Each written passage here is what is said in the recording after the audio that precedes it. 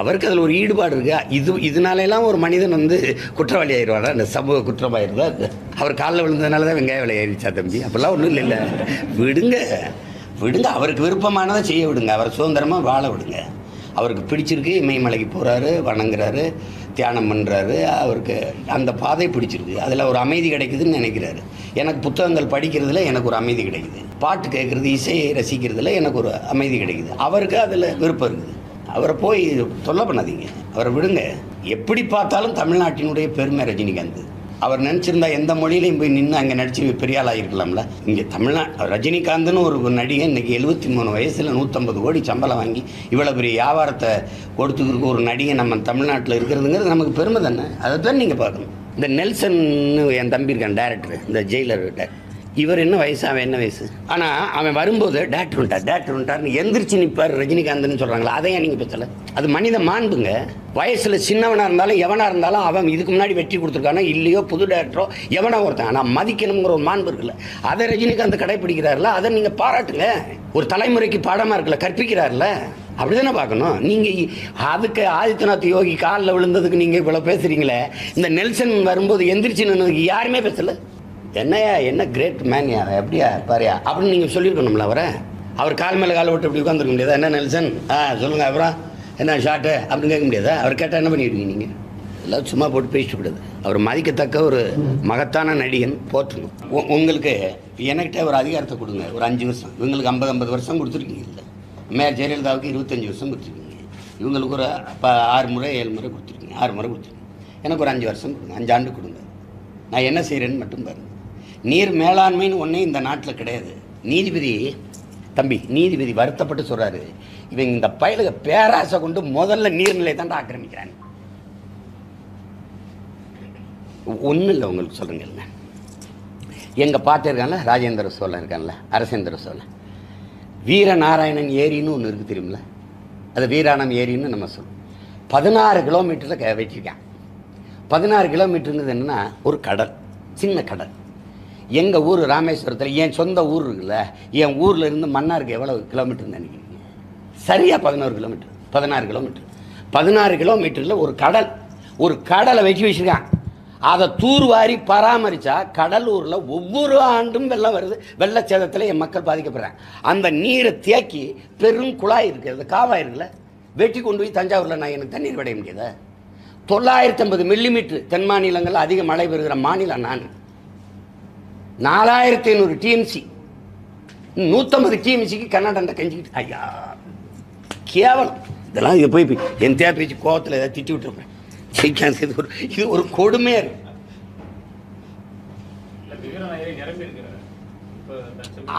வீரான ஏரி இருக்கா முதல்ல? தூர் வரப்படுதா ஆழப்படுத்தப்படுதா பராமரிக்கப்படுதா? அந்த நீர்த்தேக்கத்திலிருந்து எனக்கு சோழ பூமிக்கு நான் மண் எடுத்து த தண்ணி கொண்டு போயிட முடியாதா? ஐயாயிரம் ஏக்கரில் ஏர்போர்ட் கட்ட துணியிற நீ ஐயாயிரம் ஏக்கரில் ஏன் நீ ஏரி கட்டல? ஆனால் கேட்குறது முதல் சார் வேளாண் அறிவை விவசாயிகள் வளர்த்துக்கணும். எங்களுக்கு அறிவு இருக்கு. உங்களுக்கு அந்த அறிவு இருக்கா? ஐயாயிரம் ஏக்கரில் ஏர்போர்ட் விழுவியா ஏர்போர்ட் கட்டுவியா? என்னது கொடுமை இது? சொல்லுங்க. தம்பி எந்த இடத்துலையும் ஏர்போர்ட் கட்டலாம் தம்பி. எந்த இடத்தையும் விளைநிலமாக்கிட முடியாது. இதெல்லாம் ஒரு பேசிக் அடிப்படை. ஒரு மண்ணை மக்களை நேசிக்கிறவன் இதெல்லாம் யோசிக்கணும். சும்மா வந்துக்கிட்டு என்ன தேவை பேசிட்டு டெவலப் பண்ணிட்டு சந்திராயனில் போய் இறங்கிட்டோம் நாங்கள் சந்திராயன் பாருங்க இப்படி போய்கிட்டு இருக்கு நிலவில் மனிதனை குடியேற்ற போகிறோம் முதல்ல யாரை ஏற்றுவா இந்துவையா இஸ்லாமியனா கிறிஸ்தவனியா? முதல்ல இந்திக்காரன் ஏற்றுவியா எங்களை ஏற்றுவியா பாய்த்துக்கிறப்ப இல்லைடா டேய்.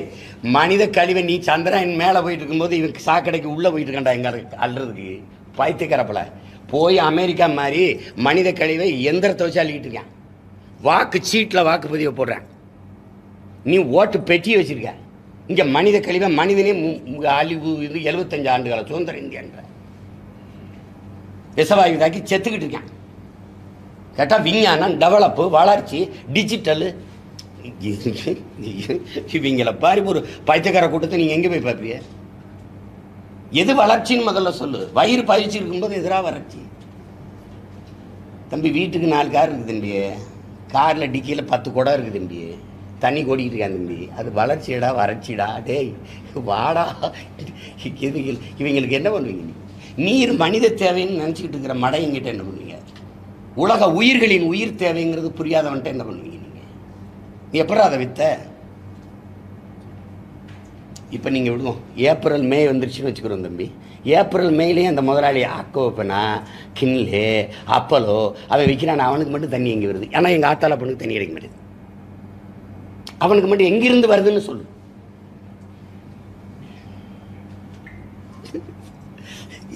எல்லாம் அவனை பொறுத்த வரைக்கும் நீங்களும் ஒரு பண்டம். நானும் ஒரு பண்டம். சீவரும் ஒரு பண்டம். நீங்கள் மூளை பிரெயின் டெட் மூளை சாவு அப்படிங்கிற நோயை என்னைக்காவது நீங்கள் கேள்விப்பட்டிருக்கிறது இந்த கால் நூற்றாண்டுக்கு இடையில. அங்கே போயிட்டால் மூளை செத்துருச்சுன்ட்டு உங்களுக்கு சொல்லிடுவான் சொந்தக்காரன்ட்ட.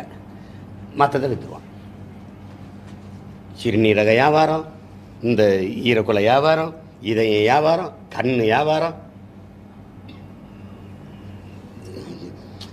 இது போய் ரொம்ப படித்து ரொம்ப யோசிச்சிங்கன்னு வச்சுக்கிறீங்களேன். லூஸ் ஆகிருக்கு காதல் படத்தில் தம்பி பார்த்து தெரியிற மாதிரி தெரிய வேண்டியதான் ஐயோ அப்படின்னு. அது அது கொஞ்ச நாள் ஆ நான் ஆகாமல் இருக்கிறதுக்கு என்னை வாழ்த்து. இந்த ஆள் மென்டல் ஆகாமல் திராண்டா அப்படின்னு. ஐயோ கொடுமையே கொடுமையே. வேற ஏதாவது கேள்வி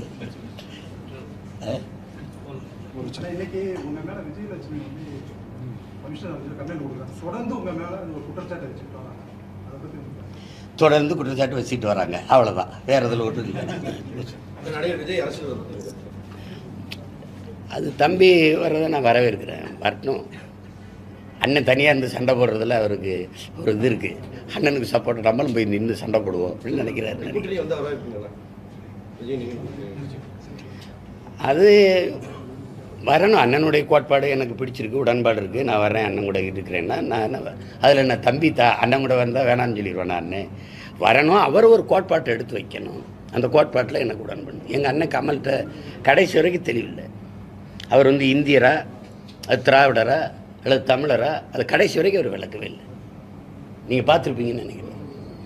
நான் தெளிவாக இருக்கேன். நான் தமிழன் இந்திய நாட்டின் குடிமகன். சிட்டிசன் ஆஃப் இந்தியா என் நேஷனாலிட்டி தமிழ். இவர் தெலுங்கர் இவர் நேஷனாலிட்டி தெலுங்கு இவர் சிட்டிசன் ஆஃப் இந்தியா இவர் மலையாளி இவர் த மலையாளி இவர் தேசிய இனம் மலையாள தேசிய இனம் மலையாளி. ஆனால் இவர் சிட்டிசன் ஆஃப் இந்தியா இது எங்களுக்குள்ள தெளிவாக இருக்குது அப்போ அந்த கோட்பாட்டுக்குள்ளே வராமல் நீங்கள் பாட்டுக்கிட்டு என்ன தேவை பேசிட்டு. நான் சொல்லலை. எல்லைக்காந்தி கான் அப்துல் கபூர் கான் அவன் வந்து இங்கே இந்தியா முழுங்க சுற்றி பார்த்துட்டு ச- வானூர்தி நிலையத்தில் போய் ஏறும்போது இந்த உங்களை மாதிரி பத்திரிக்கையாளர்கள் கேட்குறாங்க என்ன பாத் இந்தியாவில் என்ன சுற்றி பார்த்தீங்க எல்லா இடமும் சுற்றி பார்த்தேன்டா. ஆனால் ஒரு இந்தியனையும் பார்க்கலன்ட்டு ஏன்னா எங்கே போனாலும் அவன் பீகாரி அவன் குஜராத்தி அவன் மராட்டி அவன் போஜ்பூரி அவன் அவன் குஜராத்தி. அதை தானே அவர் பார்த்துருப்பாரு. அதை தான் அவர் பேட்டியில் சொல்கிறது அதானே உண்மை. போட்டு குழப்பிக்கிட்டு எங்கள் அப்பா படத்தில் பாரதராஜா படத்தில் ஒன்றுல அவன் பேர் என்ன? கோபாலகிருஷ்ணனா? ஏ கோ- ஏ சப்பானி இல்லை கோபாலகிருஷ்ணன் கோபாலகிருஷ்ணன் சொல்லு ஏன் சொல்கிறேன் நான் தான் சொல்லி எழுதிடுறேன். பூரா பேர்ல நீ ஜப்பானி ஜப்பானி தான் சொல்கிறான்னு அது மாதிரி இவன் இந்தியன் இந்தியன்னு பேசிட்டு இருப்பான் இந்தியா இந்தியன் இந்த ஒரு நாடு இருந்ததில்லை உருவாக்கப்பட்டது அந்த நாட்டின் குடிமக்களாக நம்ம எல்லாம் இணைந்து வாழ்கிறோம் அதுக்குள்ள. அந்த புரிதல் வராமல் சும்மா வந்து நான் இந்தியன். இந்தியான்னு ஒரு கூட்டணி வச்சிருக்கு சார். திடீர்னு இந்திய பற்று வந்துருச்சு அவங்களுக்கு என்னத்தையோ ஒன்று நடந்துருச்சு. சரி இனி நடக்க போகிறது அது கவனிப்போம். அது இது ஒரு பத்து நாள் பயணம். இப்போ ரெண்டு ரெண்டு நாள் முடிஞ்சிருக்கு. இப்போ இது மூணாவது நாள் நாலு இப்படி. ஈரோடு திருப்பூர் நீலகிரி அப்படி போவேன் அதில் முடிப்பேன். அப்போ திருப்பி அங்கேருந்து செப்டம்பர்லேருந்து வட மாவட்டங்கள் போவேன். மாநில மாநாடுகள் எல்லா கட்சிகளும் நம்ம அது மாநாடுனா உங்களுக்கு தெரியும். பெருந்தொகை தேவைப்படுது. அது ஒன்றும் இல்லை. குறைஞ்சது நான் கூட்டமாக ஒரு கோடி தேவைப்படுது ஒரு கோடின்னா அதுக்கு சுவரொட்டி செய்தி விளம்பரம் அந்த அதாவது பிள்ளைகள் போக்குவரத்துக்கு வர்றது போகிறது அவன் வண்டி எடுத்துகிட்டு வர்றது போகிறது இதெல்லாம் அது இப்போ தேவைப்படல. எண்ணத்துக்கு போட்டுருக்கணும். தினம் பேசிட்டு தானே இருக்கிறோம். அப்புறம் அதில் போயிட்டு என்ன மாநாடம் போடுறது நடிகர் ரஜினிகாந்த் உத்தரப்பிரதேசத்தில் ஒரு யோகி ஆதித்யநாத் காலில் விட்டு அவர் அதுக்கு ஒரு விளக்கம் கேட்டால் ஆன்மீகவாதிகள் பார்த்தா எனக்கு காலில் விழுந்துருக்கும் அப்படின்னு சொல்லி சொன்னாங்க. அது ஒன்றும் தவறு சொல்ல முடியாது. அப்பர் நம்ம மூதாதையர் தெரியுமா உங்களுக்கு? ஞான சம்பந்த வயசு தெரியுமா உங்களுக்கு? தெரியுமா தெரியுமா? தெரியுமா தெரியாது. என் அப்பரடிகளார் ஞான சம்பந்தரை வந்து இது அவர் பார்வதி தேவியிட்டே பால் குடிச்சவர்ன்றது ஞானப்பால் குடிச்சவன்னு இப்போ குனிஞ்சு வணங்கினதெல்லாம் இருக்குது இதெல்லாம் ஒரு இதாக அவருக்கு விருப்பம் என்னவோ அதுதான். நானே இருக்கேன். பெரிய கல்வியாளனை ரொம்ப நல்லா பேசுகிறவனை கெட்டிக்காரனை பார்க்கும்போது எனக்கும் பொறாமை வரும். அவனை வணங்கணும்னு தோணும். அதெல்லாம் அதை போய் எடுத்துக்கிடக்கூடாது அவருக்கு அதில் ஒரு ஈடுபாடு இருக்கா? இது இதனாலெல்லாம் ஒரு மனிதன் வந்து குற்றவாளி ஆயிடுவாரா? இந்த சமூக குற்றமாயிருந்தா அது அவர் காலில் விழுந்ததுனால தான் வெங்காய விலை ஏறிச்சா தம்பி? அப்படிலாம் ஒன்றும் இல்லை விடுங்க. விடுங்க. அவருக்கு விருப்பமானதை செய்ய விடுங்க. அவரை சுதந்திரமாக வாழ விடுங்க. அவருக்கு பிடிச்சிருக்கு இமயமலைக்கு போகிறாரு வணங்குறாரு தியானம் பண்ணுறாரு அவருக்கு அந்த பாதை பிடிச்சிருக்கு. அதில் ஒரு அமைதி கிடைக்குதுன்னு நினைக்கிறாரு. எனக்கு புத்தகங்கள் படிக்கிறதுல எனக்கு ஒரு அமைதி கிடைக்குது. பாட்டு கேட்குறது இசையை ரசிக்கிறதுல எனக்கு ஒரு அமைதி கிடைக்குது. அவருக்கு அதில் விருப்பம் இருக்குது. அவரை போய் தொல்லை பண்ணாதீங்க. அவரை விடுங்க. எப்படி பார்த்தாலும் தமிழ்நாட்டினுடைய பெருமை ரஜினிகாந்த். அவர் நினச்சிருந்தா எந்த மொழியிலையும் போய் நின்று அங்கே நடித்து பெரியாள் ஆகிருக்கலாம்ல இங்கே தமிழ்நாடு ரஜினிகாந்த்னு ஒரு நடிகை இன்னைக்கு எழுபத்தி மூணு வயசில் நூற்றம்பது கோடி சம்பளம் வாங்கி இவ்வளோ பெரிய வியாபாரத்தை கொடுத்துக்கிறதுக்கு ஒரு நடிகை நம்ம தமிழ்நாட்டில் இருக்கிறதுங்கிறது நமக்கு பெருமை தானே? அதை தான் நீங்கள் பார்க்கணும். ஓட்டு இது பண்ணிட்டு கூடாது அவரை போயிட்டு அவர் ஆதித்யநாத் யோகி காலில் விழுந்துட்டார். அதுகள் அதை விட சின்னவன் அறிவாளியாக இருந்தாலும் அவங்க காலில் விழுந்து வணங்கினாலும் அது ஏற்கணும் அது. அங்கே அவங்க ரெண்டு பேருக்கு நீண்ட கால நட்பு இருந்திருக்க வாய்ப்பு இருக்கு. உங்களுக்கு அவர் முதலமைச்சர் ஆகிறதுக்கு முன்னாடி இருந்தே நட்பு இருக்க வாய்ப்பு இருக்கு. ஏன்னா ரஜினி கூட நட்பு வச்சுக்கணும்ட்டு எல்லாரும் விரும்புவாங்க. ஏன்னா அவ்வளவு புகழ்பெற்ற ஒரு நடிகர் அவர். அதனால அந்த இடத்துல அவர் வணங்குறாரு. நீங்கள் இதை பேசுகிறீங்களே இந்த நெல்சன் என் தம்பி இருக்கான் டேரக்டர் இந்த ஜெயிலர் இவர் என்ன வயசு? அவன் என்ன வயசு? ஆனால் அவன் வரும்போது டேரக்டர் உண்டார் டேரக்டர் வந்துட்டார்னு எந்திரிச்சு நிற்பார் ரஜினிகாந்த்னு சொல்கிறாங்களா அதையே நீங்கள் பேசலை. அது மனித மாண்புங்க. வயசில் சின்னவனாக இருந்தாலும் எவனாக இருந்தாலும் அவன் இதுக்கு முன்னாடி வெற்றி கொடுத்துருக்கானோ இல்லையோ புது டேரக்டரோ எவனோ ஒருத்தன். ஆனால் மதிக்கணுங்கிற ஒரு மாண்பு இருக்குல்ல. அதை ரஜினிகாந்த் கடைப்பிடிக்கிறார்ல அதை நீங்கள் பாராட்டுங்க. ஒரு தலைமுறைக்கு பாடமாக இருக்குல்ல கற்பிக்கிறார்ல அப்படிதானே பார்க்கணும். நீங்கள் அதுக்கு ஆதித்யநாத் யோகி காலில் விழுந்ததுக்கு நீங்கள் இவ்வளோ பேசுகிறீங்களே இந்த நெல்சன் வரும்போது எந்திரிச்சு நின்னதுக்கு யாருமே பேசலை.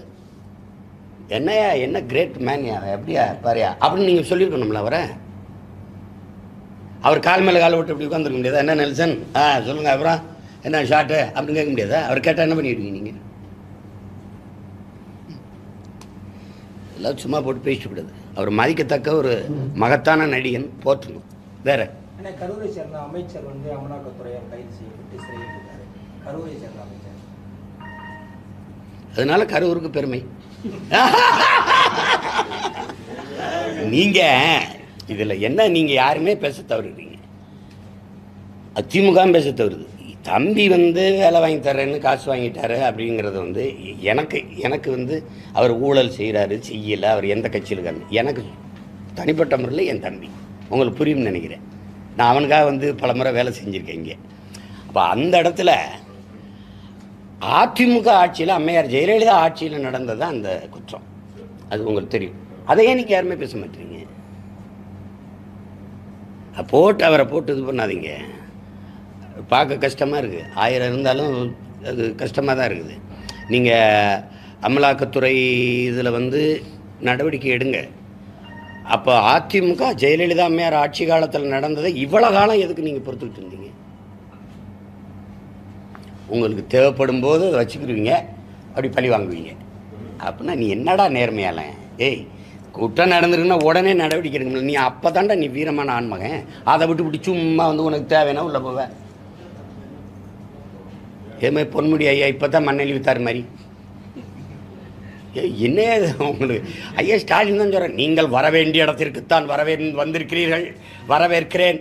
அப்படின்னு பேசிட்டு இப்போ எங்கே இருக்க வேண்டிய இடத்துல தான் இருக்கிறீர்கள் அப்படின்னு கொண்டாந்து உங்களுக்கு தெரியும் இதே ஊரில் ஐயா ஸ்டாலின் பேசுனது. இவர்கிட்ட கேட்டுக்கு ஜெயலலிதா அவர்கள் சிறைக்கு போட இவர் முதலமைச்சர் பட்டியலில் இருக்கிறாருங்க அவரும் அவர் தம்பியும் செய்த ஊழல். அப் அப்படிதான் பேசுகிறது இருக்குல்ல? அப்புறம் கட்சியில் சேர்த்திங்க? இந்த கூட்டமே கொல்ல கூட்டம் ஐயோக்கிய கூட்டம் அது விட்டுருங்க. அது போய் அதை போய் பேசிட்டுக்காது எனக்கு தனிப்பட்ட முறையில் வருத்தம் இருக்குது என் தம்பி வந்து சிறைக்கில் இருக்கிறது வருத்தம் வருத்தப்பட்டது அமலாக்கத்துறை நடவடிக்கை எடுக்கட்டும் நேர்மையாக எடுக்கட்டும். அதிமுக அதிமுகவில் ஆறு அமைச்சர்கள் மேலே சிபிஐ வழக்கு இருக்குது ஊழல் வழக்கு. ஏன் எங்கள் போய் நீ எடுக்கலை? ஏன்னா கூட்டணி வச்சுருக்க. அப்போ நீ என்னடா நேர்மையால? நீ எதுக்கு மக்கள்கிட்ட ஊழல் லஞ்சத்தில் பற்றி பேசுகிற உனக்கு வெக்கம் இல்லை? நடுநிலையாது குற்றம் யார் எங்கள் பாட்ட மாதிரி இல்லை. நெற்றிக்கண்ணை திறப்பினும் குற்றம் குற்றமேன்னு சொல்லு. அப்போ நீ நியாய நேர்மையால நியாயம்? சும்மா எதையாவது பேசுது. சேகர் ரெட்டி நூறு ரூபாய் நோட்டு வச்சிருந்தாரு. அதை இதே அமலாக்கத்துக்கு தான் நிரூபிக்க முடியல. நம்ம கோர்ட்டில் சொல்லி விடுதலை அமல் அமல் அமல் அமுல் மாமுல். அது சுபாத ஒரு தம்பி மேலே இது வந்திருக்குது. அவன் அந்த இன்கம் டேக்ஸ் ரைடு வரும்போது வருமான வரித்துறை சோதிக்கும் போது சோதிச்சுட்டு போடா பார்த்துக்கன்னு இருக்கணும் அங்கே பிள்ளைய போய் கை பிடிச்சிருக்கிறது அதை பிடிச்சிருக்குது அடிக்கிறது டென்ஷன் ஆயிட்டாங்க. அதான் நமக்கு தெரியுதுல. எல்லா இடங்களையும் நமக்கு சொந்தக்காரன் இருக்கான்ல. அவன் சொல்கிறான் என்ன இதான் மாமா நடந்துருச்சு. அந்தாலும் சும்மா இருந்திருக்கலாம் நாங்கள் பாட்டு போயிருப்போம். உங்களுக்கு அவன் நம்மளுன்னு நமக்கு தெரியுது. ஆனாலும் பிரச்சனை என்ன? அது போய் சின்ன அது எதுக்குது நான் கூட சொன்னேன் ஏன் நேர்மையால் நீ திறந்து விடிய என்ன இருக்கோ என்னென்னு. இன்கம் டேக்ஸ் ரைட்லாம் நீங்கள் உங்களுக்கு உங்களுக்கு சொல்கிறீங்க தெரிஞ்சா தெரிஞ்சுக்கிறீங்களா எல்லாம் தெரியும் ஆயிரத்தி ஐநூறு கோடி எடுக்கிறாங்கன்னு வச்சுக்கிறீங்களேன் டென் பர்சன்டேஜ் பெனால்ட்டி அவ்வளோதான் இங்கே பாருங்க ஐயா டென் பர்சன்டேஜ் எங்களுக்கு எவ்வளவு? இதுதான்